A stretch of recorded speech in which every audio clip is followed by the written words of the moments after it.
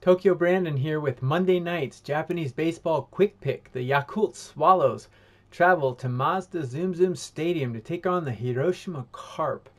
Morishita had a great rookie season in 2020, especially against Yakult. He had a 0.90 whip and he had 4 out of 4 quality starts. He was particularly good at home. Yakult, on the other hand, has Taguchi on the mound. He was awful against the Carp and he was particularly awful at Mazda Zoom Zoom. He had a 7.11 ERA and a 2.8 whip. I really like the Carp here. Take the Carp on the money line Monday night, Japanese baseball. I'll be back with more, guys. Thanks.